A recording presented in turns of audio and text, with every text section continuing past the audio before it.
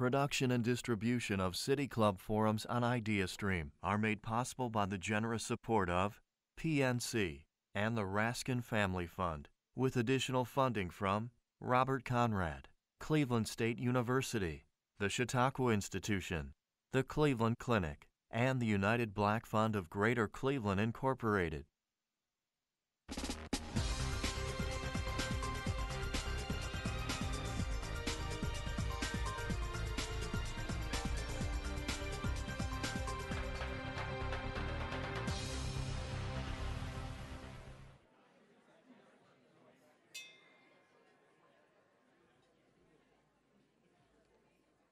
Afternoon, and welcome to the City Club of Cleveland. I'm John Mitterholzer, Senior Program Officer for the Environment at the George Gund Foundation and a proud City Club member. It is my pleasure to introduce you to, to today's forum, the first in our Igniting the Future series, exploring, the, exploring how the Cuyahoga River fire and its aftermath set the stage for the modern environmental movement. Today's speaker is Denis Hayes. At just 25 years old, Mr. Hayes, then a student at Harvard, was recruited by Wisconsin Senator Gaylord Nelson to organize a national teach-in on the environment following some of the environmental disasters of 1969, the Santa Barbara oil spill and the Cuyahoga River fire. The event, held on April 22, 1970, was known as the first Earth Day, celebrated by 20 million Americans.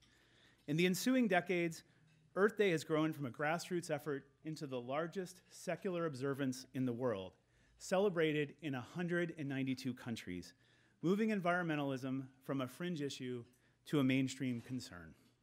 Over the years, Mr. Hayes has been a special assistant to the governor of Illinois for natural resources and the environment, a senior fellow at the Worldwatch Institute, an adjunct professor at Stanford University, Regents Professor at the University of California, and a Silicon Valley attorney. Since 1993, Mr. Hayes has served as the president and CEO of the Bullitt Foundation of Seattle, which funds environmental protection and restoration projects in the northwestern part of the United States. Under his leadership, the foundation designed and constructed the Bullitt Center, the world's greenest office building, which it operates as a commercial enterprise. Joining Mr. Hayes on stage is IdeaStream's senior host and producer, Rick Jackson, Mr. Jackson is an award winning journalist with more than 35 years of experience as a television and radio anchor and reporter. He's been on the air in all 50 states and in 40 foreign countries, and is currently the host of Ideas and News Depth for WVIZ PBS. Ladies and gentlemen, members of the City Club of Cleveland, please join me in welcoming Denis Hayes and Rick Jackson.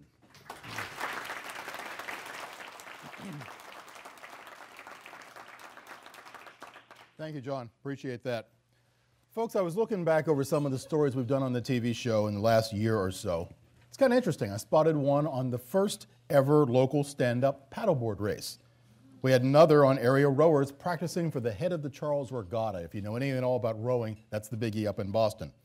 There was another discussion about considering removal of the Brecksville Dam. Now, you know the link here. None of these things could have happened or would have happened on a river that looked or smelled the way the Cuyahoga did back in 1969. The fire, the subsequent creation of Earth Day, the renewed interest in our outdoor reputation, it all came with the change in how we here in Northeast Ohio treat the environment. Denis and his era of forward thinkers get a lot of the credit for that as well. We welcome you for that. But as he and I talked a week or so ago, he told me something interesting. He said, in the 50 years since the burning of the Cuyahoga became the emblem of all that was wrong with industrial America, We've done a lot, but we need to do a lot more. So let me welcome you and start there. How could we possibly need to do more than what we've done? let, let, let, me first say how much we've done. Well, let me first say thank you very much for welcoming me back to Cleveland. I've, I've always jumped at every chance to come to Cleveland, which is maybe the friendliest big city in the United States. Uh, I will say I have not been to Cleveland in January before. Wait till tomorrow. uh, the, what we have done since then is, is kind of staggering. In the immediate aftermath of Earth Day, the next few years, uh, we established an Environmental Protection Agency, passed a Clean Air Act, Clean Water Act, Safe Drinking Water Act, an Endangered Species Act, a Marine Mammal Protection Act, a Forest Protection Act, Superfund, FIFRA, uh, Uh, RCRA, a, a wave of legislation that, according to a government study that was done a few years ago, when you look at all of the costs of all of that to the taxpayers and to the private sector, and then compare that with the benefits, the net benefits over the last five decades have amounted to $23 trillion. I mean, it's difficult today as you look around any American city to remember that 50 years ago, Cleveland, Gary, Pittsburgh, Los Angeles looked like Shenzhen, Beijing, New Delhi, Mexico City today. I mean, we've, we've just made enormous progress. Having said that, um, we are now facing a series of new threats that in many ways are, are more formidable. Uh, and they, they are legion, and there's been allusions to various of them in the introductory comments here. Climate change, where there are irreversible tipping points. I mean, it's a difficult thing for people to get their hands around that you can't change back something. But you can draw down carbon from the atmosphere. We have no way that anyone has thought of to de-acidify the world's oceans. Um, we have now basically an epidemic of extinction is racing around the planet. E.O. Wilson, in his new book, Half Earth, says that it is almost certainly the strongest, fastest wave of extinction that the planet has ever experienced. Um, problems that some people have thought of as sort of aggravations, but now have achieved to such incredible scale that they're really important. They, the filling of the world's oceans with plastics. You know, you, you, you can do these calculations and they are misleading. If you keep going the way that you're going right now for the next 30 years, so, okay. But on that one, if we do continue for the next 30 years the way we've gone for the next last 20 years, the weight of plastic in the world's ocean will be greater than the weight of fish and marine mammals in the world's oceans.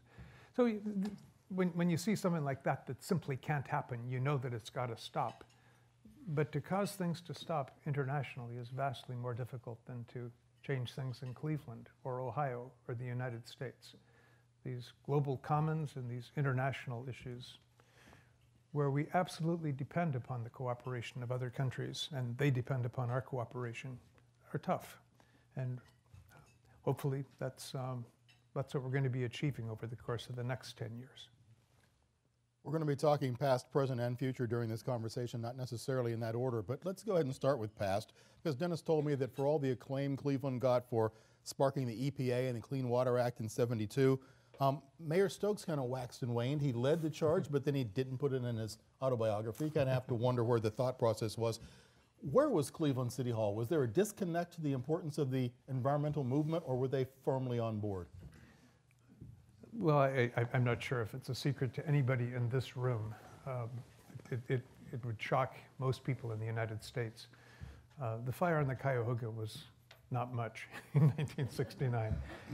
It lasted half an hour. It did about $100,000 worth of damage. The mayor did hold a press conference, a walking press conference, where he talked about it with, with the media. Um, but what really made it was Time magazine's coverage, which was very prominent and used a, a, photograph from a much bigger 1952 fire. You had fires on the Cuyahoga and on every industrial river repeatedly. I mean, the, the, first one that I'm familiar with that was received press attention on the Cuyahoga was shortly after the Civil War. this is, but, but in 1969, there was a ripeness and a receptivity, coupled with the fact that water isn't supposed to burn. You, you got to fire someplace, you go to the river with your fireboat. And, um, and, and, and so that juxtaposition just gave it a, a, a huge emblematic thing. With regard to to Mayor Stokes and, and, and also to his close colleague. He was the first African American mayor of a major American city. Gary, Indiana likes to think of itself as a major American city. Uh, Richard Hatcher was elected at the same election, but, but, but Stokes got the visibility. And both of them were early champions of what we would now call environmental justice, of talking about the disproportional impact of environmental issues just like everything else education, healthcare, um, diets, uh, it's just crime, drugs, it, it, the, the, disproportionate impact on the poor and upon people of color is, is something that he, he spoke of very eloquently.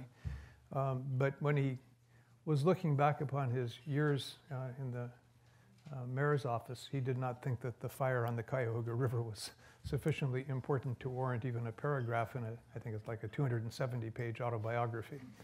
Uh, but for the rest of the country, as somebody said, uh, you're welcome, United States. Uh, we, we, we got an enormous boost from the coverage of that fire.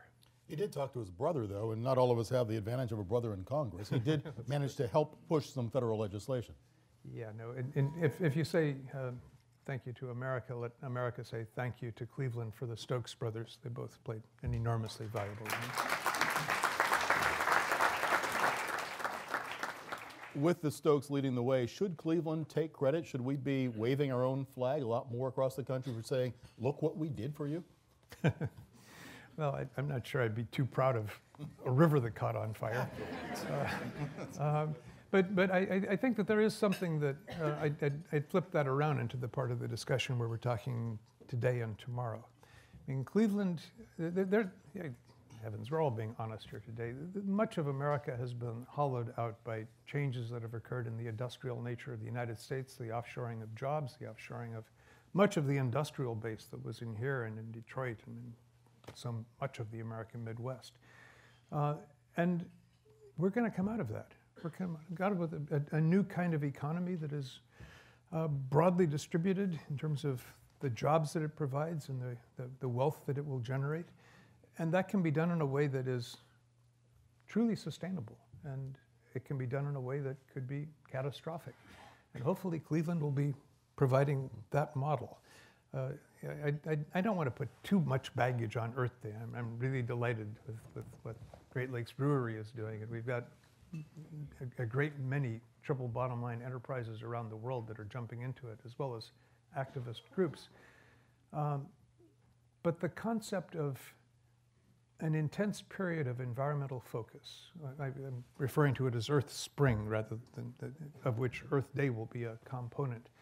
If we can create in Cleveland uh, a cultural transformation, a, a, way that people perceive the opportunities in this city differently as a consequence of things, that the people in this room, which is an enormously diverse audience, come together to envision your future. I think you could be doing uh, an enormous service for this entire region of the country by mapping out where you can go, what the future can look like. Uh, candidly, that's what we are trying to do in Seattle for a different kind of economy and a different set of cities around the world. We, Portland, Seattle, and Vancouver, British Columbia are basically the turf of my foundation, and we spend our money trying to build them as models of urban sustainability at a time when recently we passed the milestone where 50% of all people live in cities, en route to something by 2050 where north of 80% of all people will live in cities. We've become an urban species, and yet most of our cities are not particularly attractive places to live, and they should be. Mm -hmm. I do want to get back to the work the Bullitt Foundation's been doing and leading the way on, but you mentioned early on 20 years down the line, 30 years down the line, just in October, the United Nations released a landmark report talking about this grim future, they called it, for our planet if we don't aggressively and rapidly reverse course. Have we gone too far down the road? Can we still reverse course and get back to a much more livable place? oh, sure. I mean, there, there are things that um, are enormous opportunities for us. Uh, uh, the, the, transition that is now being spoken of in, in, in, this highly politicized era, it's now identified entirely with progressives, but there's no reason that a new Green Deal should necessarily be a progressive thing as opposed to something that makes sense for everybody, where you come up with something that moves as swiftly as possible to 100% reliance upon the very efficient use of renewable energy resources. Just enormous, spectacular growth opportunities for different solar technologies, for wind technologies, for different kinds of storage technologies, batteries, hydrogen, for new kinds of vehicles. I mean, it, it, will be a rebirth of all kinds of things that resemble stuff that was done in Cleveland historically. It's just the next generation of these things. Um, having said that, we have passed some tilting points. There will be more hurricanes and they will be more intense in the future than they have been in the past. There are things that you can do to draw down the carbon in the atmosphere, and slowly you can begin to reverse some of that stuff. But we're, we're not talking about things that will affect dramatically the environment of my daughter. We're talking now about trying to get back to something approaching normalcy during the lifetime of my granddaughter.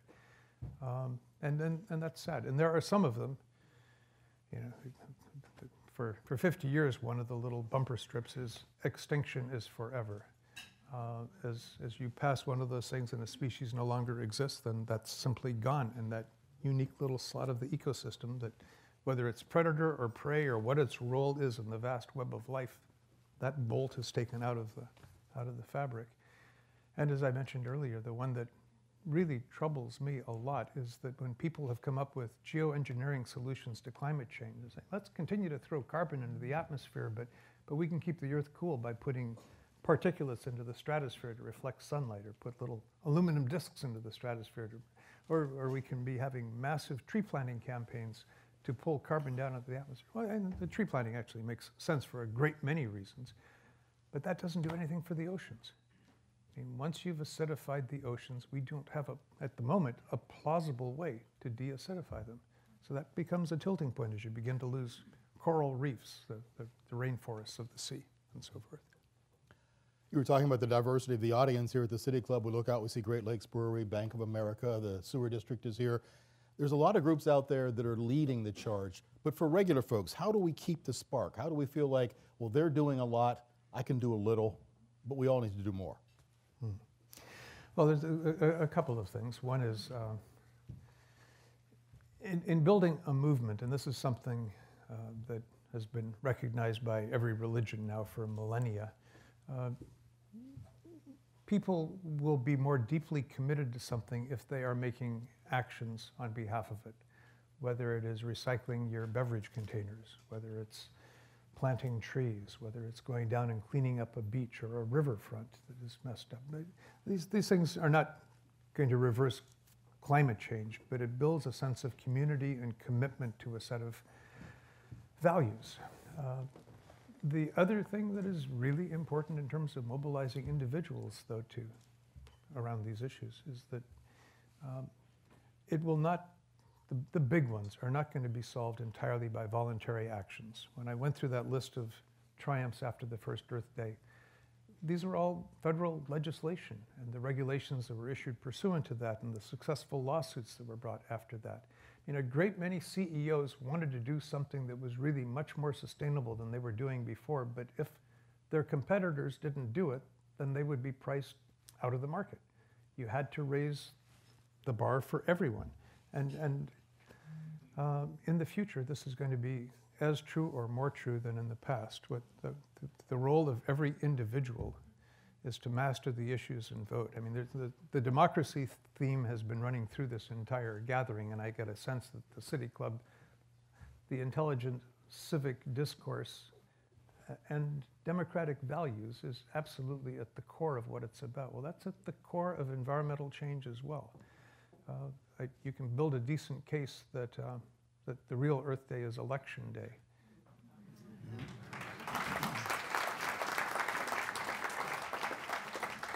Let's stay on that thought then. We have an administration right now that is actively, not actively addressed climate change, uh, tried to pull the United States from the Paris Accords in 2017.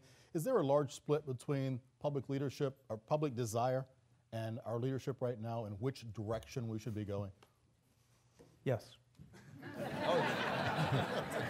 uh, uh, to, to elaborate just a little bit more. Uh, there, there's, there's confusion about the Paris Accords. It turns out that under the terms of the Accords, withdrawal has a formalized process that is associated with it. And ironically, given when President Trump made the announcement that he wished to withdraw, the earliest time that we can formally complete that process is one week after the next presidential election. So every now and then you start to believe there really is a God. uh, and any, any new president can reverse that process on 10 days' notice. So that's not all lost. And President Trump and, and Scott Pruitt and his successor and Ryan Zinke and his successor are now trying to uh, basically take the teeth out of 67 important federal environmental regulations. But those things are also appealable in court. Those things, once again, if we have support in ideally both houses of Congress, you, you can throw up To coin a phrase, you can throw up a wall around them to, to safeguard them. Um, and and I, I, am let, let, me say a slightly different thing. If, if you're talking about climate, polls suggest that about 70, depending on how you phrase the question, 70 to 75 percent of Americans now believe that climate change is real and that it has a human signature. Um, that's a pretty awesome number. If you look at the last election, uh, something on the order of 22, 23% of people thought that climate change was an important issue. And of those, 2% thought that it was the most important issue. So you, you have something where, I mean, I, I, I care about gun control, but the environment doesn't evoke the same passions as are on both sides of the gun control issue. Uh, the same passions that are on both sides of the abortion issue, the same passions that are, I mean, somehow passion has to be part of this. And we have developed over the last 50 years an extraordinary degree of scientific expertise. The International Panel on Climate Change is just a wonderful international gathering of people who've devoted very successful professional careers to this. But it doesn't elicit that same kind of passion, and passion matters in politics. Um, so if, if you're talking about the difference between Trump and the public, yeah, they disagree with the president, but the people who feel most passionately about this, um, in the sense that if you're wrong on this, I will not vote for you, there's coal miners uh, and coal company shareholders. I mean, they're, they're, that's where they basically see what they perceive as their future livelihood at stake and they will make it a single issue ticket. I, I, don't like single issue politics. I think that we ought to be having a broad agenda and we ought to be voting for this. But climate has now reached the stage where I guess for me, and I think for, I hope for in the next election, much more than 2% of the people, if you are wrong on climate, you cannot be elected president of the United States. The planet just can't tolerate that.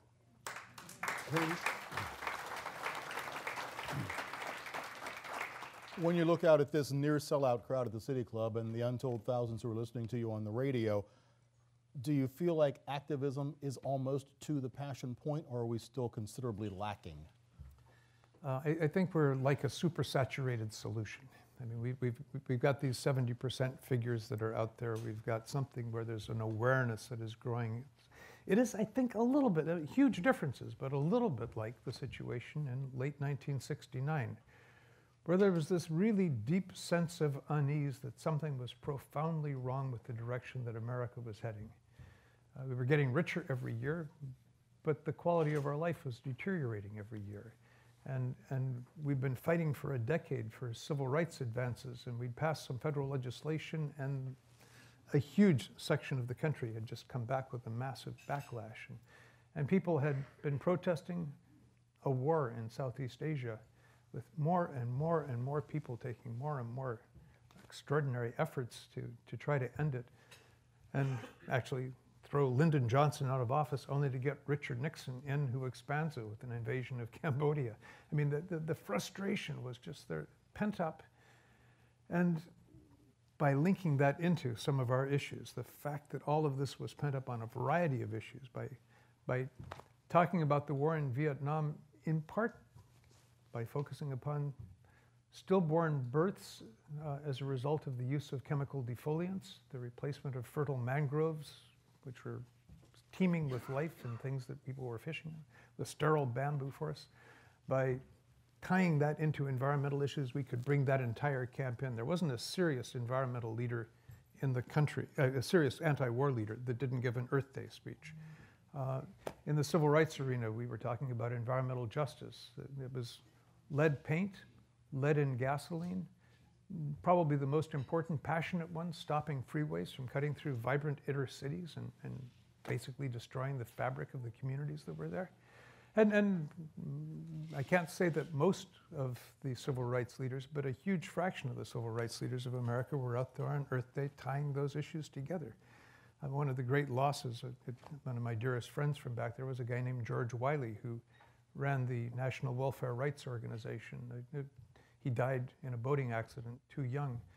Um, but remarkably articulate and charismatic and capable of bringing along the African American community anytime that he spoke. And most people didn't know he had a PhD in organic chemistry from, from Cornell, and he was really into environmental justice issues and the poisoning of our communities.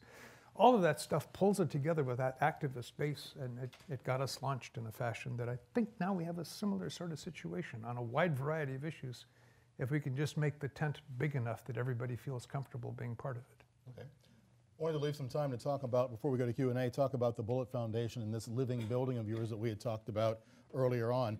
I don't know if a lot of you have heard about the Bullitt Foundation and this incredibly green building. Uh, Google, Bing, Yahoo, whatever. I'm not going to endorse your search engine, but find out something about it. It's an incredible. Duck, duck, go. There you go. I like that one too. It's a federal. It's a federal. It's a fantastic building that essentially is its own environment. Mm-hmm. Where did it come from? How did you create it? And why don't we have one here? well, well, hopefully uh, your museum will be coming up with a super green building here uh, too. They're exploring what the options are. You, you wouldn't want to have the Bullitt Center in Cleveland. You just have a terribly different environment. As, as we said the last time we were talking, 80 years ago, you take a photograph of a building in Atlanta, a building in Phoenix, and a building in Anchorage, and you say which is where, and you know we had regional architecture. We designed it to deal with the microclimate that it was in. Today we build the same thing everywhere and use cheap electricity to dehumidify Atlanta, to cool uh, Phoenix, and to heat up Anchorage. That's just stupid. and, and what we did with the Bullitt Center was to design it for the Pacific Slope rainforest. So it, uh, to, to, go through the attributes, uh, and I should say with all of this, we, what people think of as sexy is the supply side. What's really important is the demand side. Um, we, we use dramatically less electricity, despite the fact that most of our tenants are high technology companies, because we were able to persuade them that uh, they should choose the most efficient equipment that meets their needs. I mean, we, we had one engineering firm that came in, and it, it was actually involved in setting the energy goals for the building. They took a look at their energy consumption in their previous location, and they were using five times as much electricity per employee as they could to meet the cap here. So they went through and took a look at how they were using electricity and what, what was the equipment that was there. And they discovered, to no great surprise, that their employees were engineers. I mean, everybody wanted to have the most powerful computer that he could possibly get. And, and, and, it was, for the most part, they were, they were doing things like spreadsheets, they were doing some diagrams, they were writing email, they were searching the web. They, uh, every now and then they had a modeling operation that really required some horsepower, but they found they could do all of that with a bunch of dumb terminals and one server. So they reduced their energy consumption by 80% when they moved in with absolutely no loss in productivity. It's just making smart choices. So in any case, this is a building that's, that, that produces now about 10% more electricity each year from solar panels on its roof than a six-story structure uses. I emphasize six-story because if it's a one-story, six-story, 40-story, it's just the same roof. And solar is proportional to the area, and as a consequence, it, it, it's ironic. The only net energy positive six-story building in the planet is in the cloudiest major city in the contiguous 48 states, but it shows what can happen on the consumption side. We harvest rainwater, put it in a cistern in the basement, filter it, uh, both with mechanical filters and with ultraviolet, and then chlorinate it and use it not just to water our plants and flush our toilets, but as potable drinking water. All of the water in the building comes from rain. We have no connection to Seattle's water system. We have no connection to Seattle's sewage system. We process our stuff in compost bins in the basement come up with stuff that can be put out on, on plants afterwards. Uh, we take our treated gray water and introduce it into a bioswale right into a park next to the building. Uh, one of the things you were talking about was your combined sewer overflow problems here. I mean, typically, again, in Seattle, water comes out on the roof of a building. It's on asphalt shingles. It slips over into uh, something that will shoosh it out through drain pipes goes out into the street where buses have gone by and cars and there's asphalt, picks up these complex hydrocarbons, sows them into the storm sewer system, flushes them out into Elliott Bay where it is toxic to marine life. Uh, lots of ways that you can invest a lot of money to try to process that. But what we're trying to do is to get a, a building code that says everybody has to put a cistern in the basement of their building. And whenever it rains, uh, water goes down there and you can use it for whatever you want to in your building and that stops it from going out onto the streets and causing all of these problems. If you don't want to make the steps that we did, which frankly were administratively difficult and technically pretty easy to convert it to potable drinking water, at the very least, catch it when it's raining and then let it go from your cistern when it's not raining so you're not overloading your combined sewer overflow system. Um, and, and, and, and on and on. There is nothing in the building that is toxic, carcinogenic, mutagenic, in any way harmful, not only to any of its residents, but to the people that were building the building. And the final thing is, uh, it's been fully tenanted from about two or three months from the time that we commissioned the building. It's been fully leased to commercial tenants. We've been in the black from the second year of operation. And the total cost of the building per square foot is roughly the same as the total cost of a standard office building without any of these features per square foot in Seattle, all of which is, I, I need to be forthcoming, uh, driven by one big phenomenon, which is the typical office building has a parking lot underneath it. We have a parking lot, but only for bicycles. Uh, and we have a repair facility, and you can put your bike there. We're on a major bus route. We're really close to light rail. We're very close to a trolley system. We've got all kinds of Ubers and Lyfts and Car2Go, and uh, I, I, there was just no reason to have to have automobiles. I, I don't. Final little flip on this because I'm, and I'm sure there has to be one or two others in this room, a, a bicycle fanatic. There is nothing in the biosphere that moves a creature around as efficiently as a human being on a bicycle. It's better than a dolphin. It's way better than a cheetah. I mean, there's, there's, there's it, it, it's comparable in terms of energy exerted per unit of distance traveled to a condor. Um, it's, it's, bicycles are fabulous, and we just wanted to promote them. But it saved us a ton of money. good, good endorsement. Okay. Hope, hopefully, some of you have questions on government and how they can be involved in public private partnerships. Right now, I'm Rick Jackson, senior host and producer for IdeaStream. Today, I'm talking with Denis Hayes, the president and CEO of the Bullitt Foundation, board chair emeritus of the Earth Day Network. We are about to begin our famous City Club audience Q&A. We welcome questions from everybody, City Club members, guests, students, those of you joining us via radio or live stream. If you'd like to tweet a question, please tweet it at the City Club and our staff will try and work it into the program. Holding the microphones today, Marketing and Outreach Coordinator Julia Wong and Director of Programming Stephanie Jansky. May we have the first question, please, Stephanie? Thank you, Mr. Hayes. Uh, I think you might have a unique perspective with respect to water. You live in the Northwest, you've got roots in the Great Lakes, and you're probably uh, pretty familiar with the issue of water in Southern California and in the West. Uh, so I'm going to use that as an opportunity to ask you about your opinion about water in the future. Um, do you think that there's going to be a political effort or e any effort to uh, use water from the Great Lakes watershed to satisfy the drought and the water needs of the of the Southwest. And then, even more specifically, am I being paranoid in uh, in, in, in, fearing that that's going to happen? Thanks. Wow. Well, um, always glad to start off with one of the easy ones. uh, in the Northwest, our great fear is, of course, Southern California coming up with a massive straw to siphon the Columbia River down to Southern California. There's a perception in some circles that if any drop of water in any river actually makes it all the way to the ocean, that's a failure of human ingenuity.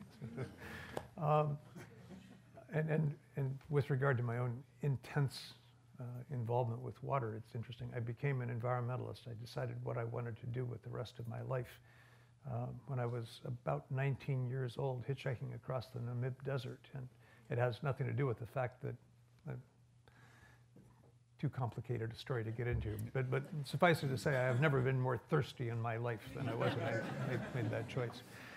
Um, I, I, there are undoubtedly 20 people in this room who know more than I do about the, the likelihood of somebody seriously trying to take water out of the Great Lakes and pump it that vast distance. If I were, and, and I, I, think that the politics of that, boy, um, I, I, I, think it would be extremely difficult to accomplish probably during my lifetime and probably pretty unwise. If I were trying to guess where I thought the biggest demand would be, uh, I, I, think it's not going to be Arizona and New Mexico, where I, I, think that a lot of that is going to be, I hate to say this, uh, but much like parts of the Middle East, almost written off. It cannot support its current population, and it's going to be solved through migration. If there were a place where I think there might be a genuine, maybe irresistible demand for Great Lakes water, it would be in the Midwest, in some of the grain producing former prairie regions, uh, much of which I think probably should be returned to grasslands, uh, but the powers against that will be formidable. Uh, as many of you know, I'm sure you've had programs on it here, the Ogallala is, is going down. There are some places where the water table is sinking anywhere from six to 10 feet a year, and that much more energy to pump that water a greater distance. And ultimately, of course, you hit the bottom. And um, that, that was the answer to the Dust Bowl. I mean, the fact that we found this amazing, gigantic aquifer, but it's fossil water, and we've been pumping it out, and that will come to an end. Is it up to the Great Lakes Restoration Initiative, the six states that border the water, the federal government to protect the lakes? Boy, I, when, when people come to the Pacific Northwest and opine on what we ought to be doing about orcas, uh, a lot of us who have been devoting our lives to that what the hell do you know about it? Which is, I think, what anybody can legitimately say with regard to my answer about Great Lakes protection my, my limited involvement in this has always been just with, and, and it, it's decades old, with, with pollution control within it. I just, I'm not familiar enough with these issues.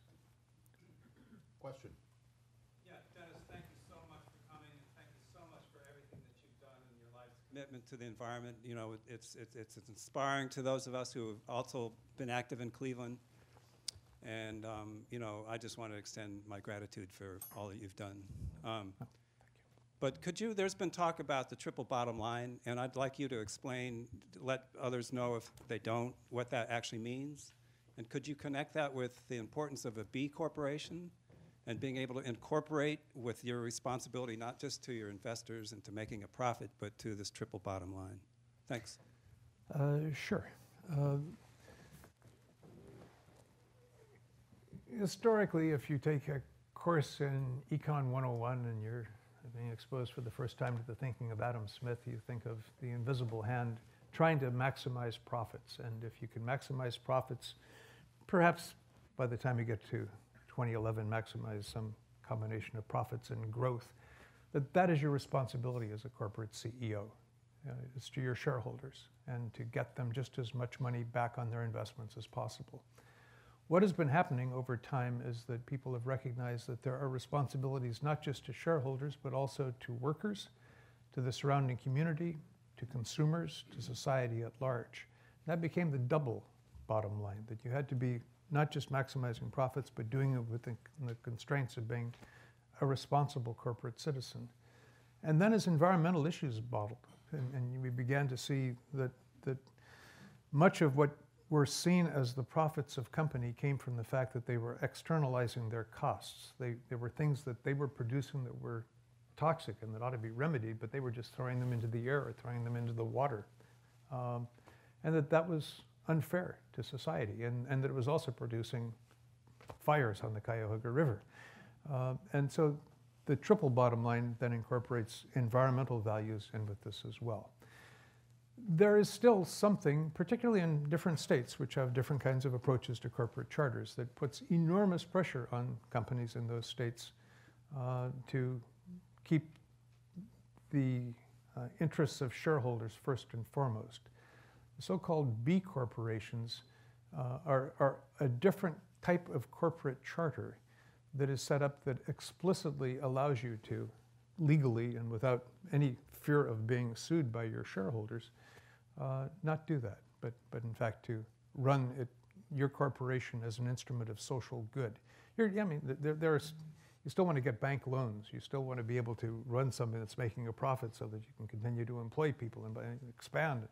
Uh, but, but you're not focused exclusively on the maximizing of that, but rather upon uh, making this an instrument for social good I'll, I'll say in terms of my personal view as somebody who's been involved in the corporate responsibility business now for 35 years. I, I was the founding co-chair of a group called Ceres, for those of you who follow this, this field. Uh, I, I, think it's an incredibly important development. Um, it, there, there are other ways to do it, but, but it has been one that has picked up a, a, a whole lot of adherence and they've produced some wonderful new companies. And this basic approach to a triple bottom line, I think, is is the best defense that capitalism has against the pressures that are mounting against it. Uh, there, there is, uh, uh, going a little bit off message, but, but let, let, let, let me just jump for question. a second. Go ahead. um, Tom Piketty wrote a book a couple of years ago. It's uh, updating Karl Marx. It's Capital uh, for right now. It's the name of the book.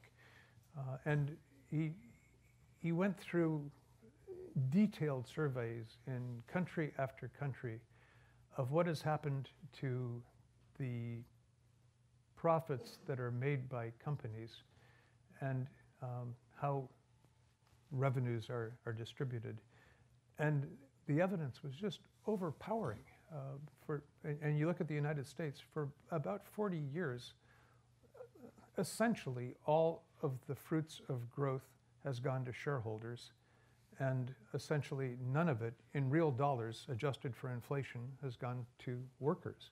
And that has created this increasingly big, we refer to it as a gap, but it's a canyon between the holders of, of capital and the providers of labor. And then using Credit Suisse numbers um, and some things from Forbes magazine, uh, a, a, study came out two years ago that had just this shattering conclusion that the eight richest men in the world possessed more wealth than the poorest 50% of the human population. That, that, that's a maldistribution that is in excess of what you saw under the pharaohs. I mean, it's just almost inconceivable. and, and somehow we have to blend our way through all of this. And, and it, it is not an adequate instrument for all of that, but moving toward a triple bottom line approach and the advent of B corporations is a hugely powerful step in the right direction. Let's put some pressure on the next question and see if we can use the word river in this question. well, uh, close. Um, last summer, here at the City Club, um, at the State of the Great Lakes address, the scientist who was here who studies plastics in the Great Lakes talked about the need to um, stop the spigot uh, of, uh, you know, so we can try to get the plastics out of the water, but we need to stop putting them in, which means we need alternatives that are non toxic, biodegradable. So, my question is have you, or could you please? Use your influence on some of the billionaires on the West Coast, perhaps a couple of them in Seattle.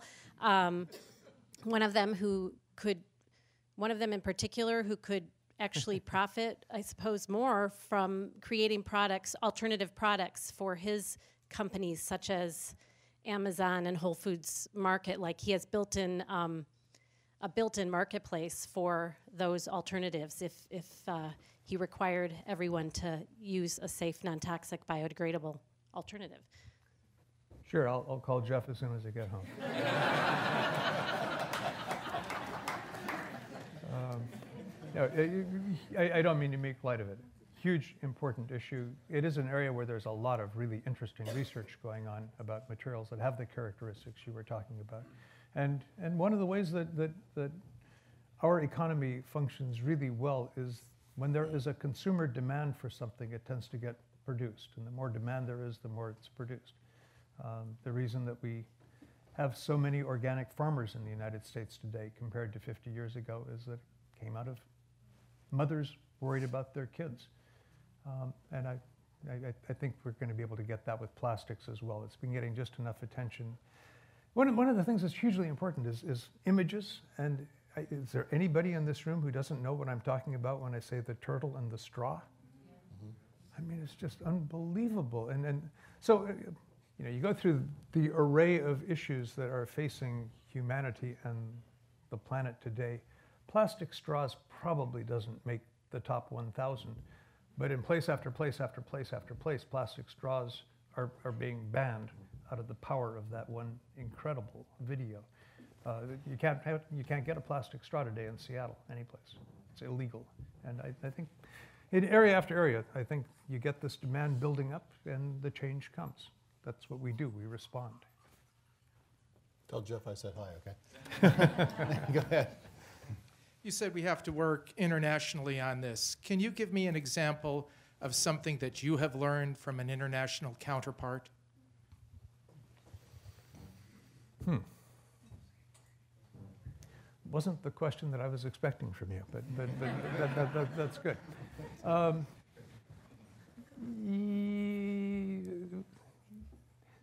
learned lots of things that work, not all of which are translatable to America. Um, when we were trying to figure out what we could do with a green building, and we were considering oh, maybe LEED gold or oh, maybe stretch for LEED platinum. To, to put this in context, we use about a third the amount of energy per square foot of a typical LEED platinum building in Seattle. So we, think through all this. We started looking at Europe to see what they had in Malmo, what they did in Copenhagen, what, uh, I spent some time in Berlin looking. We did get something there, uh, the concept of putting your Venetian blinds on the outside of the windows instead of the inside.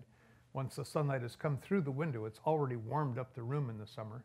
Uh, put the Venetian blinds on the outside, and you're going to be able to keep the sun from coming in. And if you do it intelligently enough, so you're tilting them, there are days when you're keeping the sunlight out. There are days when you want the light in, but the heat not to come, and you just tilt the blinds like that to reflect it further inside. I picked that up from people in Berlin, where I wouldn't say it's commonplace, but there are certainly scores and scores of buildings that did it, and none in the United States before we did it.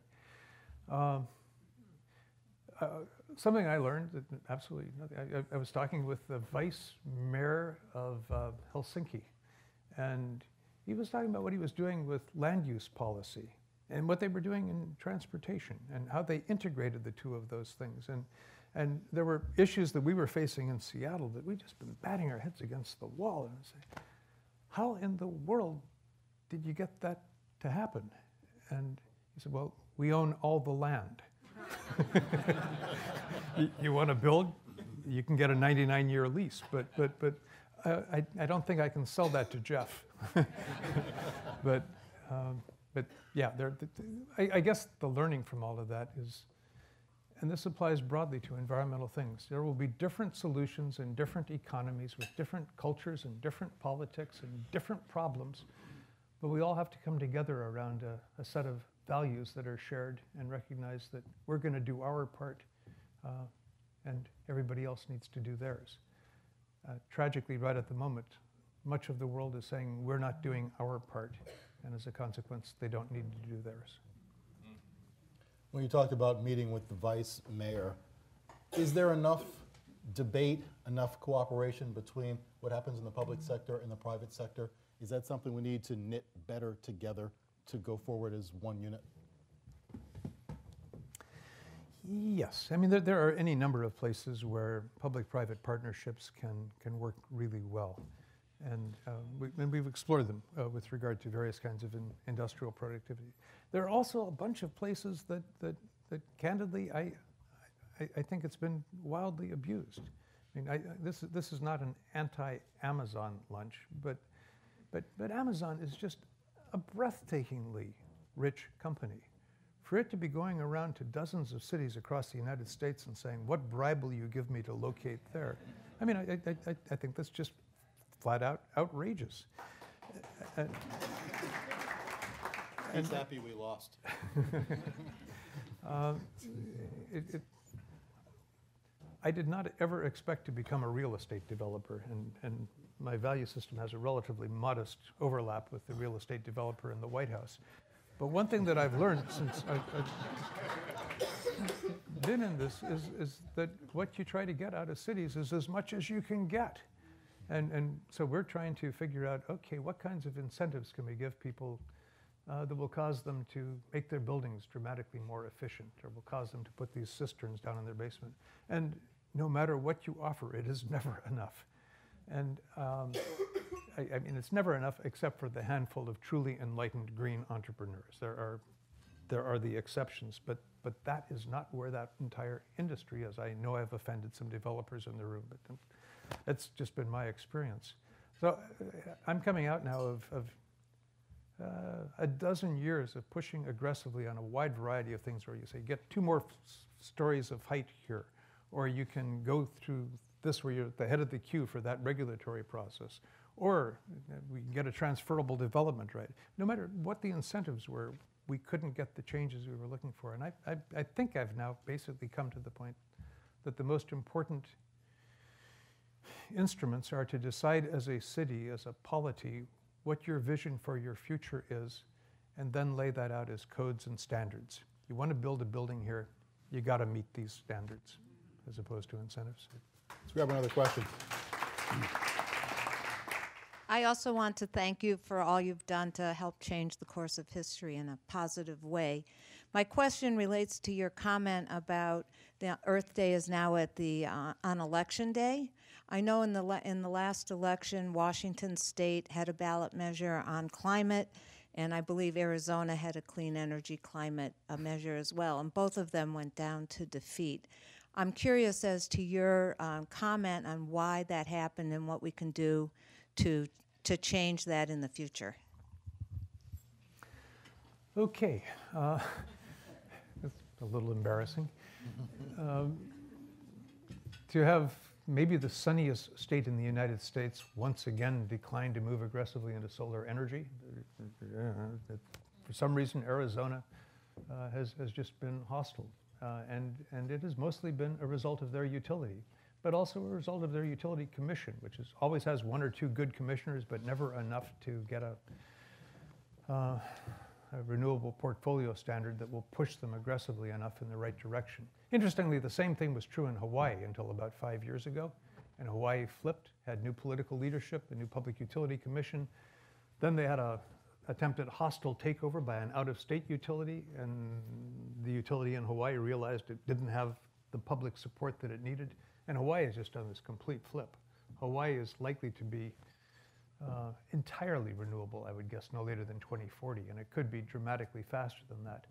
Uh, it has now the two largest solar slash battery utility things where it provides 24 hour a day uh, uh, electricity for less than half the cost of what they were paying for their oil generated electricity. That was the principal way they generated power in Hawaii. Uh, it made economic sense 20 years ago. It made economic sense 10 years ago. It made economic sense five years ago, and they're doing it in 20, well, 2018 because they were forced to. But now they're getting enthusiastic about it, and they've got this new generation of leadership that's moving into the utility industry. So Arizona, the utility fought it successfully. Uh, for what it's worth, uh, a prominent environmental billionaire, uh, former hedge fund manager, Tom Steyer, threw a ton of money into that, and it, it just couldn't pull it off. Washington State. Um, okay, this was a really modest thing. This, this would have been a $15 uh, a ton uh, fee on carbon emissions. It, it, it, I was embarrassed that it was so small, uh, and, and yet it got defeated. I, there, there are a variety of reasons, but by far the most important was that the petroleum industry was afraid that if it passed there, that it would begin something that was sweeping state after state after state. So they resolved to spend as much as it took to defeat it. Um, and for those of you who are trying to decide where you're going to buy your gasoline, I will say that for my purposes, I will never buy a gallon of gasoline from British Petroleum again. They ran a truly despicable, dishonest, vastly expensive campaign. So the oil industry in Washington state spent a little over $33 million defeating this citizens initiative. Uh, Washington is not New York or California. 33 million bucks is more money than was spent by the Democratic successful candidate for the US Senate, by her Republican opponent, and by all PACs and interest groups on both sides of a Senate race. And they put that amount of money just into defeating this initiative. And it was a campaign that filled the airways with lies and distortions, and, uh, and they prevailed. Um, I, I think we are going to win with something in the legislature because at the same time that that went down, there were significant changes in the political makeup of the Washington state legislature. And so we're, we're going to be taking another attack at that next year. And we have a governor, Jay Inslee, who, who campaigned on climate and won on climate twice. And it, it, it's a bit of an embarrassment to him that that his state went down that way. He campaigned aggressively for it. But, uh, there, there, there is difficulty to get people to tax themselves. It just, it, it's, it's Proposition 13 destroyed the state of California. It's just outrageous. It, it, the educational system, the, the, wonderful public university system, it, it, all just crumbled because people were afraid of increasing property taxes. Uh, and to voluntarily do that with a carbon tax is just something that they managed to, to defeat. I'm embarrassed by that. It's one of the reasons why, when I'm talking about my optimism, it's not unrestrained optimism. we still have to somehow make this stuff congruent with the aspirations of, of people. It has to work. Last thing, I have to ask you to keep the question, the answer down to about 90 seconds. How do we take this 50th anniversary of what happened down the street and use it as a launching point to better ourselves?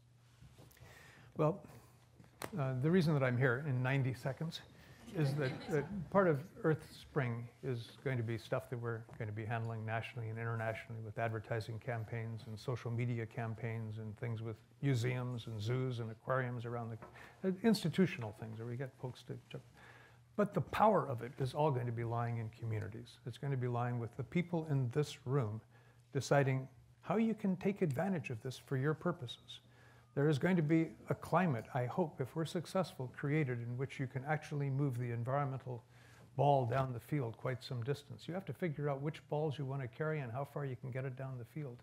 And what's the best way to do that in Cleveland, and who you need to enlist, and who your friends are going to be, who your enemies are going to be, how you play the chess game, and then get it done. But uh, we can do anything that we want to with these national advertising campaigns. If it's not the Clevelands of the world getting themselves together mobilizing around their allies and achieving some progress, then, then this is not going to be worth doing. We've been listening to Denis Hayes, President CEO of the Bullitt Foundation, Board Chair Emeritus of the Earth Day Network. Help me in thanking him.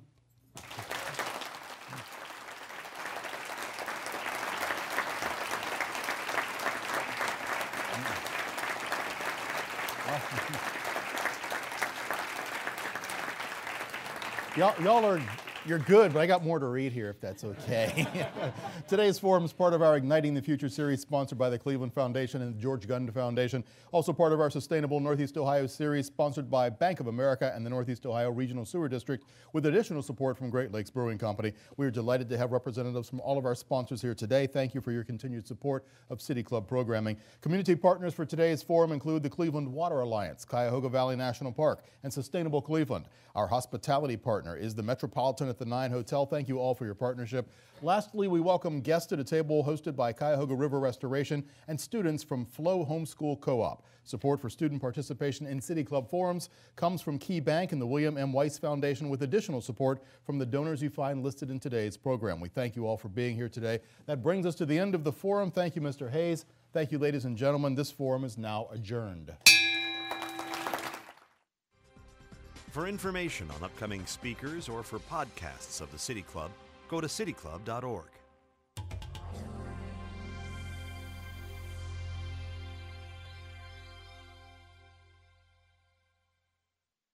Production and distribution of City Club forums on IdeaStream are made possible by the generous support of PNC and the Raskin Family Fund, with additional funding from Robert Conrad, Cleveland State University, the Chautauqua Institution, the Cleveland Clinic, and the United Black Fund of Greater Cleveland Incorporated.